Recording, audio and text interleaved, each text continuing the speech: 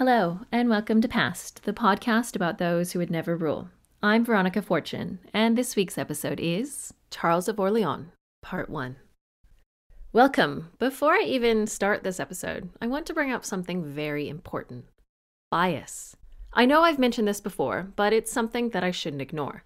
I have plenty of biases, just like any person, and I do try to acknowledge those, including one that will come up in this next series of episodes. But this isn't the bias I'm talking about. I'm not even talking about source bias. No, I'm talking about subject bias.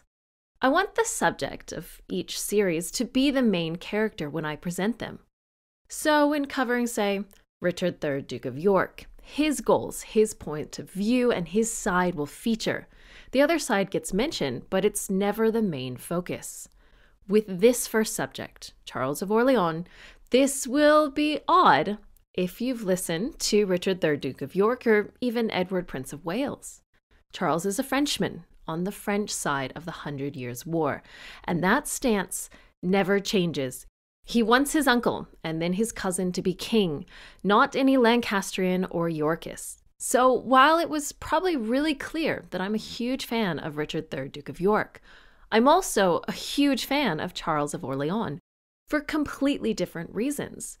This is also going to explain, just as a reminder, how William de la Pole, first Duke of Suffolk and previously the Earl of Suffolk, was a bit of a villain in Richard III, Duke of York's story, but a bit of a hero in Charles's story.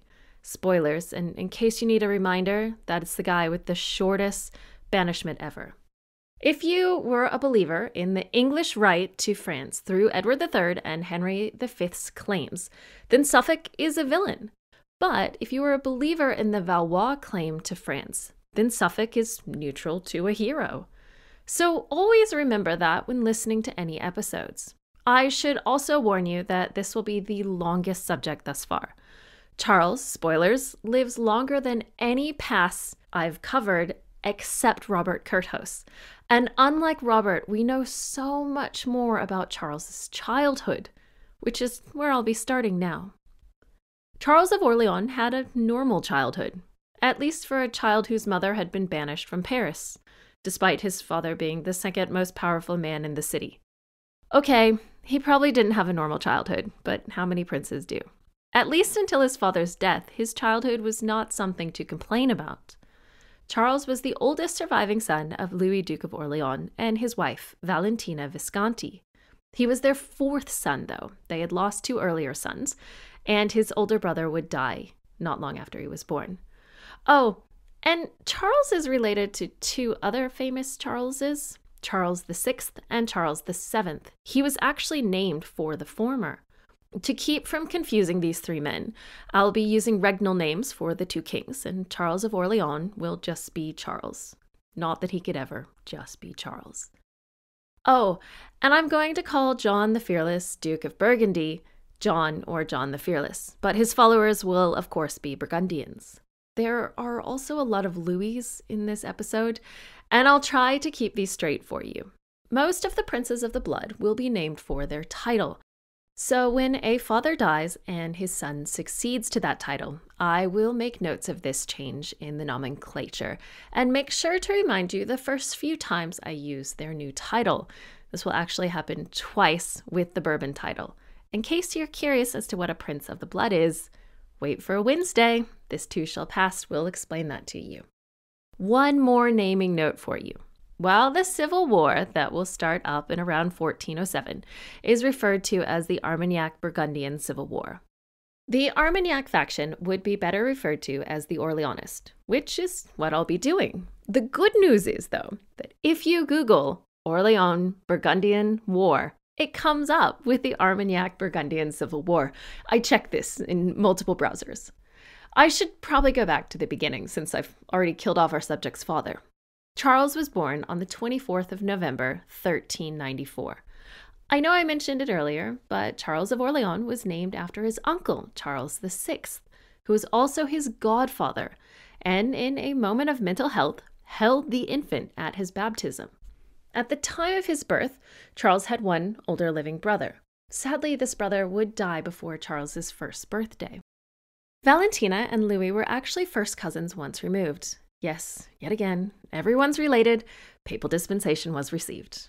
In case you think the name Visconti sounds familiar, you're not wrong. She is the niece of Violante Visconti, the widow of Lionel of Antwerp, the second son of Edward III. Oh, yes, everyone really is related. This means that Valentina's father was Gian Galeazzo Visconti, who was accused of murdering his sister's third husband and may have poisoned Lionel. He had married one of Louis's aunts, and Valentina was their only child to survive to adulthood. Gian had two other children with his second wife.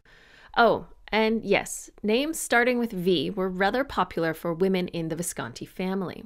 Louis was the younger son of Charles V of France. And Charles is the often overlooked king who allowed France to begin to recover from the early victories of Edward III in the Hundred Years' War. I'm actually a huge fan of Charles V.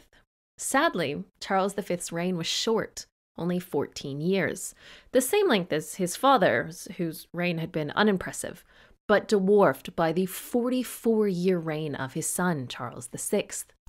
Louis, Charles's father, wasn't even eight when Charles V died, and he was, in fact, his brother's, Charles VI, heir presumptive for all of about a three month period until his first nephew was born in 1392.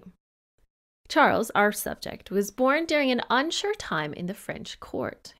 His uncle, Charles VI, had his first mental episode in 1392. I've mentioned this in plenty of earlier episodes. What I didn't know until I started researching for Charles's episodes is the only person who could successfully calm Charles VI during his episodes was Valentina. Remember when I was discussing months ago the John of Gaunt and his brother Edmund of Langley and their issues with their Castilian wives? How I agreed with Helen Carr that they probably would have been better off if they traded wives? Yeah, this is the same thing. Charles VI and Louis of Orleans had the same problem. Remember, there are rumors that Isabeau, Charles VI's wife, and Louis were having an affair. I will point out quickly that both Charles VI and Louis were kind to their respective wives, at least as far as Charles VI could be. But really, each brother got along with the other's wife in a way that might point to them being better suited. Sadly, this was not the time when people got to pick their own partners should, in theory, be awesome that Charles VI's sister in law could help him. That sounds like a great thing for the kingdom, right? Having a mentally unwell king is never good. Well, apparently, no.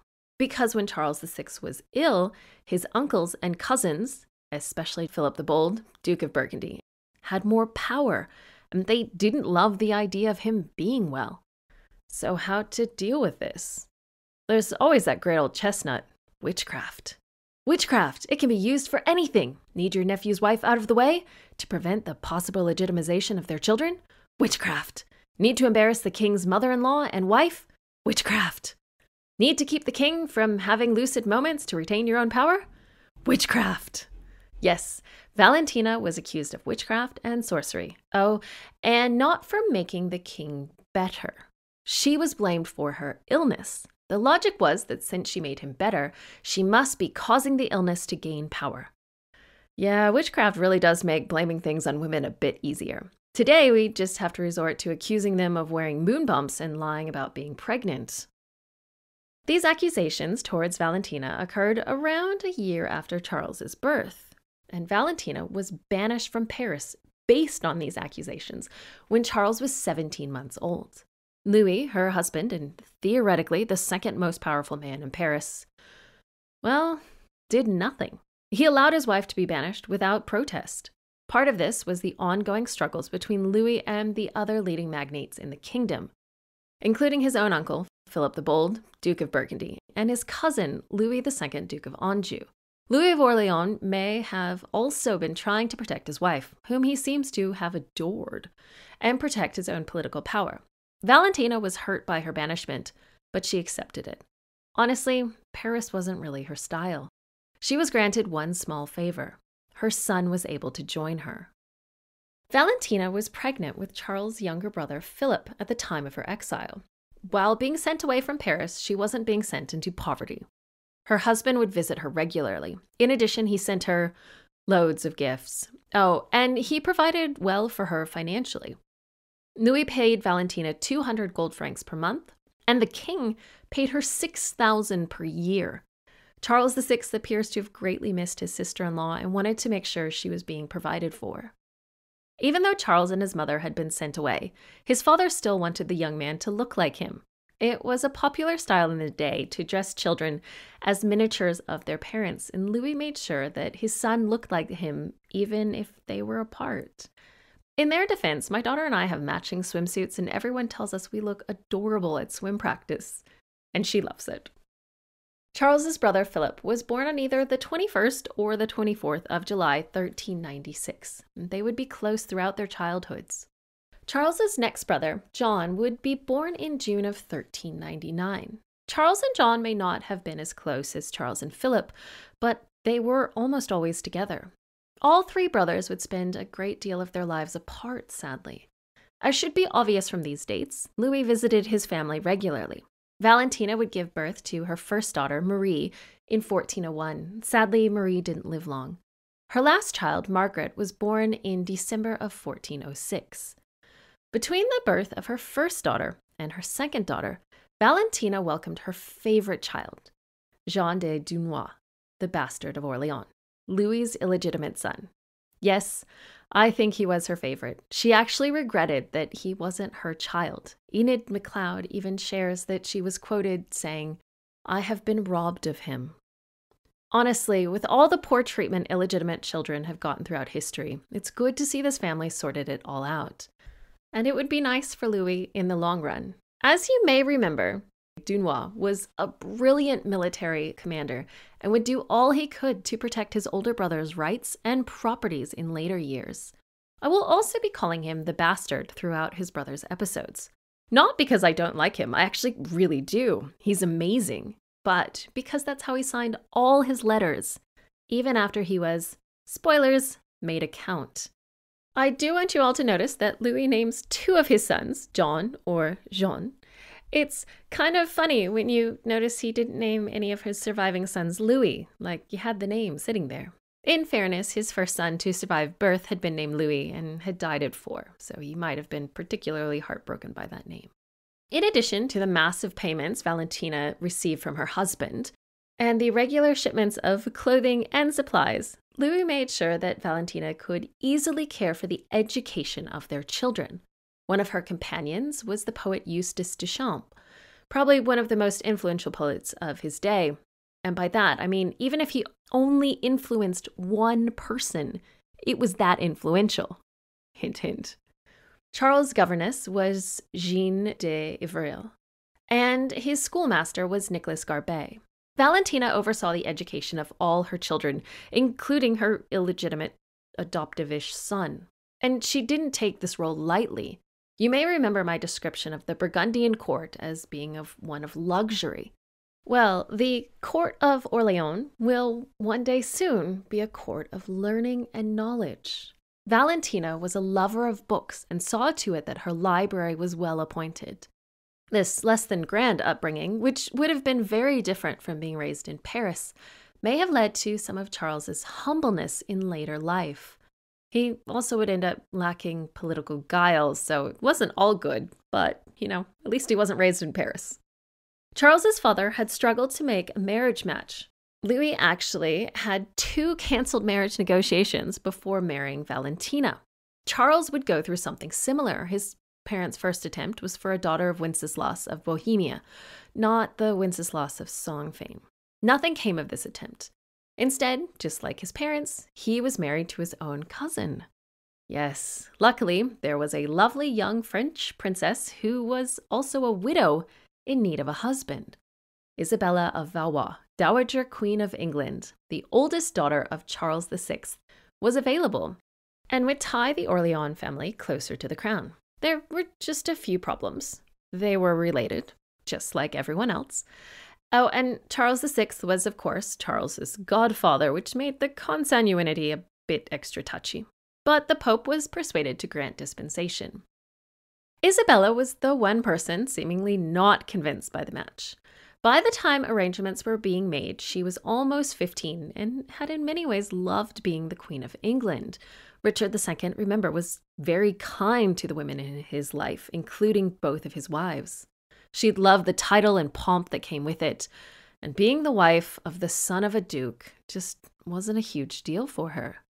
This match, though, made a lot of sense, not just for the Orleans faction, but for the French crown as well due to the strength that the new Duke of Burgundy, John the Fearless, wields.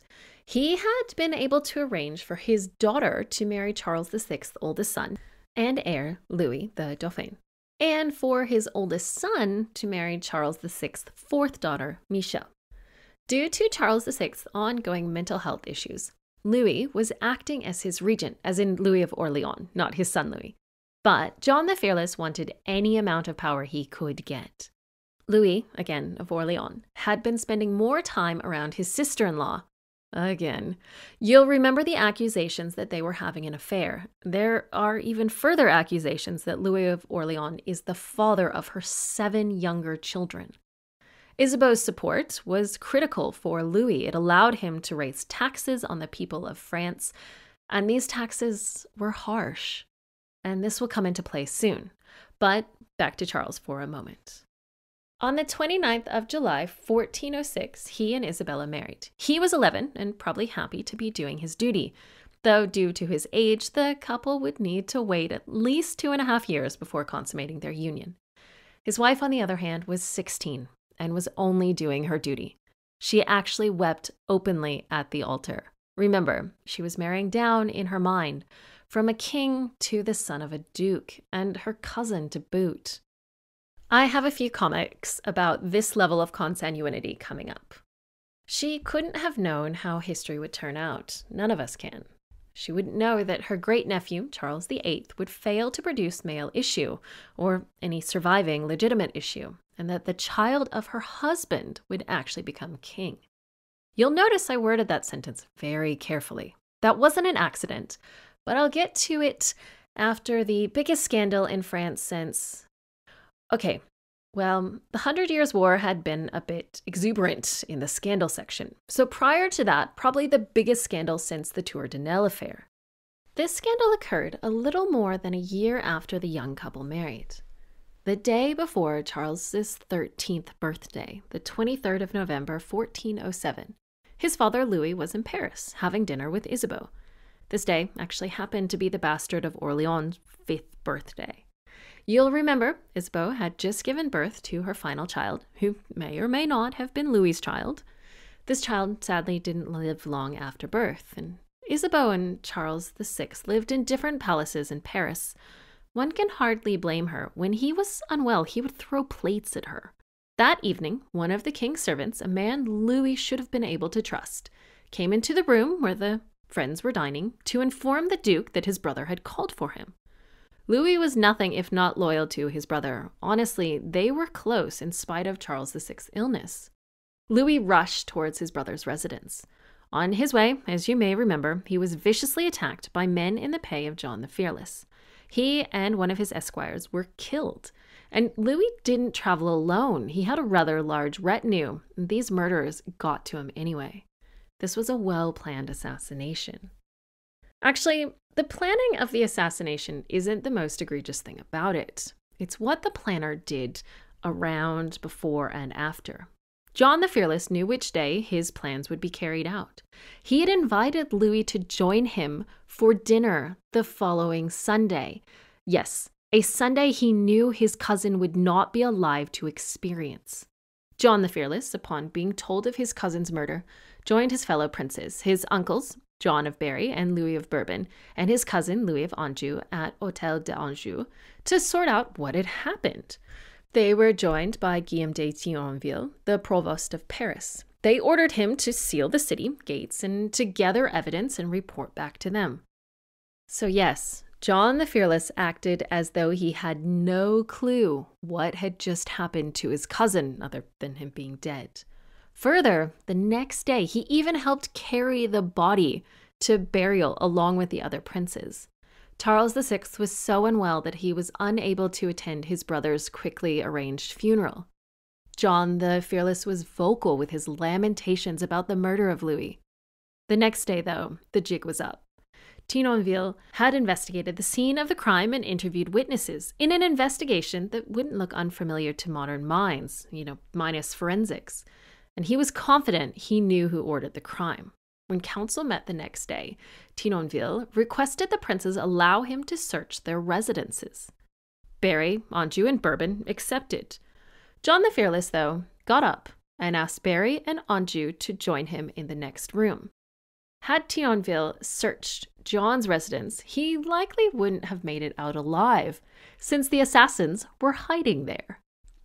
Once John the Fearless's uncle and cousin had joined him in the next room, he informed them that he had planned the killing of Louis. He expressed no remorse. The two senior princes were so shocked that they allowed John to leave and return to his residence. And this was their great mistake. They informed council that they would meet the next day, and John showed up for this meeting. I should mention he's a bit audacious. His uncle refused him entry since they were chatting about his crime. John, seeing that this might go poorly for him, fled Paris, along with his assassins. He went to his property in Amiens to secure his holdings. While securing his holdings, he took legal and spiritual advice, and that's not a bad idea. And as we know, he will be able to avoid, at least temporarily, the legal blame for this murder. What was Charles doing during this two day period? You know, during his birthday? Well, he likely had no idea what had happened until at least the afternoon of his 13th birthday. It would have taken that long for a normal speed horse to reach him if it had been dispatched immediately. His mother, practical woman that she was, didn't just wait for things to happen. She sent Charles, his brother Philip, his sister Margaret, and likely the bastard of Orleans to Blois for their protection. It was a well fortified city and would become Charles's favorite in later life. She, on the other hand, kept her youngest son John, who was only seven, and her daughter in law with her at Chateau Thierry. Keeping her daughter in law with her was a brilliant stroke. She was now the princess's protector, and no one would risk hurting Isabella. While Valentina was planning her next move, the money men in Paris were appropriating her son's property. Yes, not even days after Louis's death, they had taken back property that he had given to his daughter in law. You know, the king's oldest daughter, and property he had given Valentina. They seemed to have forgotten to read his will and decided that since the king needed funds, they could just take them from his dead brother, since the king had given it to his brother in the first place. Valentina would need to risk returning to Paris to present her case to council and to ask for justice. She arrived in the city on the 10th of December. Thankfully, at the time of her arrival, Charles VI was in a fit state and able to meet with her. He ordered that council would meet on the 15th to discuss this case. The king asked his uncles Berry and Bourbon to visit John at Amiens to ask the duke to request forgiveness. Bourbon declined this mission. Remember, he has no relation to John the Fearless, and he never wanted to see his nephew's killer again. Instead, Anjou joined Berry. John the Fearless told them to take a hike. As I mentioned, John the Fearless had sought legal advice for his crime, and these knowledgeable scholars and churchmen had helped him devise the defense I mentioned in an earlier episode tyrannicide, the lawful killing of a tyrant. John was claiming that Louis had been acting as such and that John should be thanked. Unlike a certain group of Roman senators who used the same argument in 44 BCE, this argument would end up working out for John, at least for a while. He told his uncle and cousin that he would return to Paris to plead his legal case, even though they informed him that he was not to return. When Berry and Anjou returned to Paris to inform the king and Valentina of what John had shared with them, Valentina did the only rational thing and fled the city. She was deeply aware of the risk that John posed to her family. She wasn't running scared, though. She was planning. She returned to Orleans to strengthen its defenses, and she sold her own jewelry and plate to pay off her husband's debts. She renewed her family alliance with Brittany, and she brought young Charles into these preparations. She wasn't going to leave her son defenseless, and in this, Charles was lucky. His mother had seen to his education and upbringing, and now she was seeing to his life. As expected, on the 28th of February 1408, John the Fearless returned to Paris with his rather large retinue, really a mini army. Charles VI was unwell, and Isabeau was in charge. Well, as in charge as she could be. She couldn't stop John from entering the city without an all out war, and it wasn't the right time for a civil war. Foreshadowing. Isabeau would be battling with the people of Paris if she had tried. For the moment, John the Fearless was popular with the Parisians because he had framed himself as the savior of the people, protecting them from the harsh taxes Louis of Orleans had put them under. Now, I should mention that John was receiving a huge pension from the French crown. So while Louis may have been overtaxing them, John had been benefiting from it. John the Fearless was, of course, there to defend himself against the charge of murdering Louis of Orleans. Burgundy's case would be presented before Parliament, various members of the university, and the leading noblemen. Bourbon, who had promised he would never set eyes on John the Fearless again, skipped the event, along with his son, Clermont. I have forgotten to make this clear, but Bourbon is the maternal uncle of Louis of Orleans and Charles VI of France, and the great uncle of Charles, our subject. Interestingly, his son, Clermont, had been close to John when he was younger, but had solidly moved to the Orleanist camp since. John the Fearless came in and sat next to Brittany, whom you'll remember had just signed a treaty with Charles. His disdain for John was obvious to all present. It's actually recorded in the meeting notes. At this meeting, held on the 8th of March, 1408, John's fearless advocate presented his defense to council. Instead of admitting any wrongdoing, John's advocate used his four hour long speech to accuse Louis of a few things, including trying to poison his own brother, you know, the king, idolatry, sorcery, and being lustful. We're pretty confident the final one is true, but the others were just mean, and the first was definitely untrue. After this presentation, the case was discussed.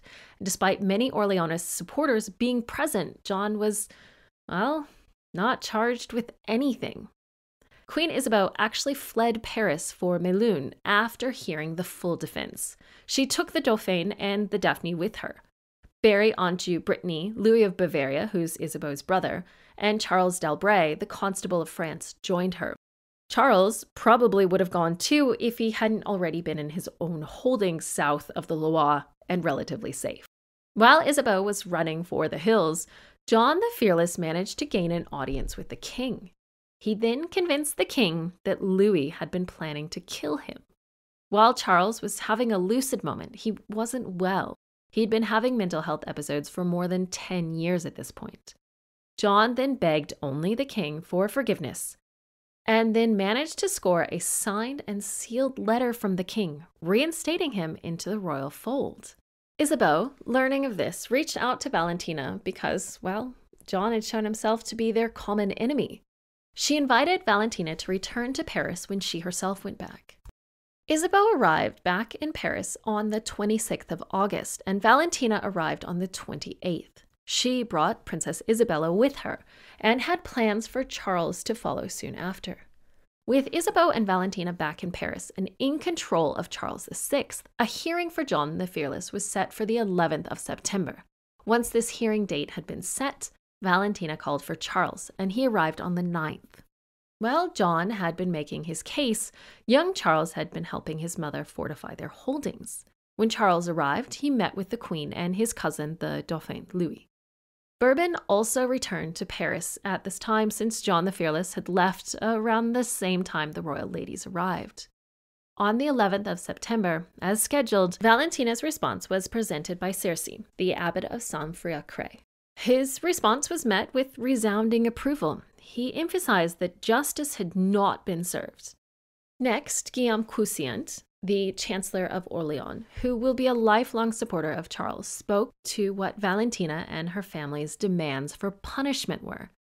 This list of demands includes John returning to Paris and admitting fault while begging for a pardon, kissing the earth at the site of the crime, erecting a cross there, building a religious house at the property the murderers had stayed in, building further chapels in Rome and Jerusalem, a public confession. Oh, and while this was going on, he needed to stay in prison until these things were done. And then he needed to be banished once everything was complete. Valentina wasn't a stupid woman. She didn't expect all of these wishes to happen. She was hoping that John would be forced to follow through on a few of these demands, especially the begging for forgiveness bit. She knew there was no way he'd have to suffer all of them. The king did revoke the letter of reinstatement he had given John, but that's where he stopped for the moment. While Charles was in Paris, he paid homage to his uncle slash godfather slash father-in-law, as should be expected now that he was almost 14, and 14 being of age. After this, he and his wife and mother returned to Blois. Charles VI sent ambassadors to recall John the Fearless. While Charles and his mother had been fighting their battle in Paris, John had been fighting literal battles of his own in Burgundy. He had been dealing with local uprisings and winning. These wins made him scary to the Parisian magnates. Those that supported Charles previously were starting to think they should keep their mouths shut. John marched on Paris with a proper army. Isabeau requested that the princes of the blood stay to face him, but they decided they were not up for meeting John. Instead, the queen, along with the rest of the royal family, Anjou, Berry Brittany, Bourbon, and his son Clermont and Alençon left for Tours in November. Charles's mother had been devastated with the death of her husband, and the lack of justice for him further broke her heart. Valentina died on the 4th of December 1408, continuing a string of Orleans dying on their children's birthday. The day she died was her youngest child's second birthday. Valentina herself was only 37. There isn't a recorded cause of death, but as Enid McLeod expresses, her contemporaries who said that the bitterness of her grief and her despair had brought on an incurable languor for which she died. In short, her supporters thought she died of a broken heart. John the Fearless was overjoyed at her death because he wasn't a nice guy. Charles was barely 14 at the time of his mother's death, and things could have gone horribly wrong for him at this point. He was now the leader of his faction. Little aside here, since Charles had turned 14, he and his wife did their um, duty and consummated their marriage. Isabella was 17, so thankfully not a shockingly young bride. And based on what happened about 10 months later, they fell pregnant not long after this. Charles VI wanted there to be peace in his kingdom, and his method will sound familiar to those who have listened to Richard III, Duke of York's episodes. His grandson, Henry VI, would become a regular practitioner of this same method. Charles VI decided a meeting needed to happen. He scheduled it for the 9th of March, 1409. And Those invited included Charles, his brothers, John and Philip, Charles d'Albret, and John the Fearless. Charles brought this group together to make peace. To make this happen, he was going to tell his nephews that they were at peace with John. Yes, all the guests showed. John brought along 600 attendants to Charles's 50. When John the Fearless's advocate spoke, John showed no remorse, no guilt. Instead, his advocate assured the king that he just wanted peace and for the king to not be upset. The king agreed, since peace was the thing he wanted.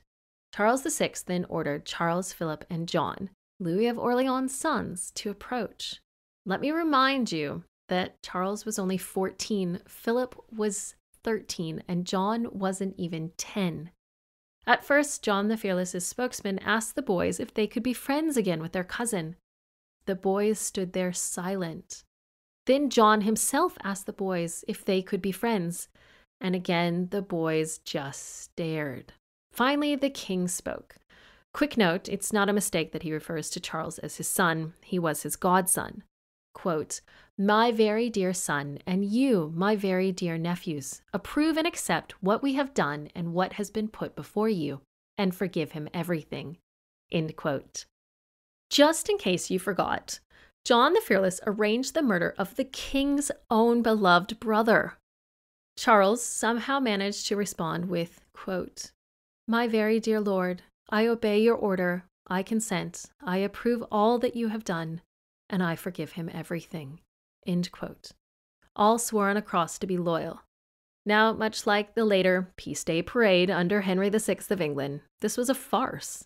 No one there, save the king and John, show any signs of thinking this oath was real, at least when you look at their actions in the coming years. John the Fearless even offered one of his daughters to Philip, Charles's younger brother, and as Enid McLeod put it, quote, a promise that, as the boy grew older, he managed to evade, end quote.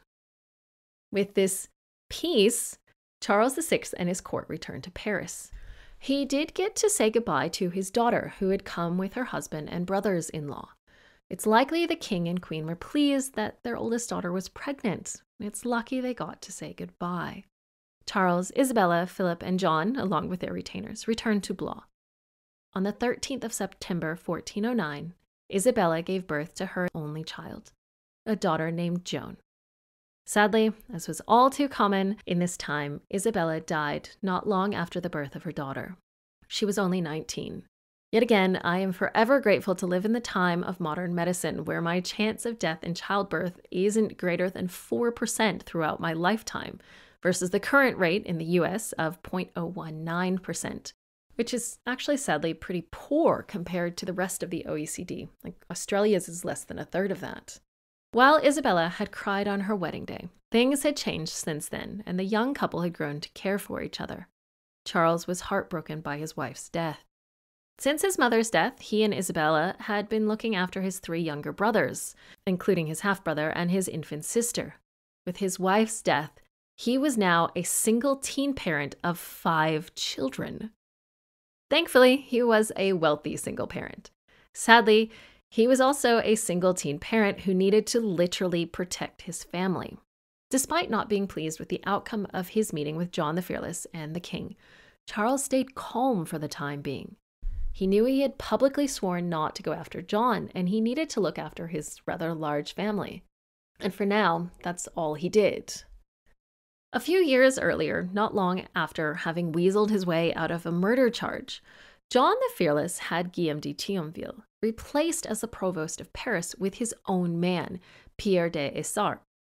If you're curious, provost of Paris is an appointed role that would feel most similar to a senior court justice, come detective. Someone who could investigate crime, present evidence, and then call for justice. He also could collect taxes. It was a lucrative and powerful role, as you can guess. This, of course, meant that John the Fearless was in control of this powerful role since Essart was his man. Essart, in this role, arrested John de Montague, Charles VI's Grand Master of the household, in October of 1409. Montague's role really was as fancy as it sounds. He was the guy in charge of the king's household. Montague, a favorite of the king, was tortured and confessed. To what, you ask? aiding Louis of Orleans in exerting evil influence over the king. And why didn't the king step in? This was one of his favorites. Well, because he was having a mental incident. Less than two weeks after his arrest, on the 17th of October 1409, Montague was executed. Let me emphasize that everyone knew this arrest and execution was John the Fearless's doing and politically motivated. Charles had done nothing since the meeting in March that year, at least in an offensive way. But this blatant act of aggression slapped some sense into him. John the Fearless had been forgiven and still had power and was not happy. It wasn't enough. If Charles didn't do something soon, John would come after him. Charles, along with his brothers, began gathering troops and sent messages to his ally. He also let the Queen, Isabeau, know what he was doing. As part of his preparations, he signed a military alliance with Count Bernard of Armagnac. He promised, in language expected in the day, that he would serve Armagnac against all save the king, queen, and dauphin. You may have caught that name, Armagnac. This is the foundation of the Armagnac Burgundian Civil War. With that exciting note, I will pause until next week. This will be a huge series, as I mentioned at the start, and I don't want these to get too long. I will see you next week.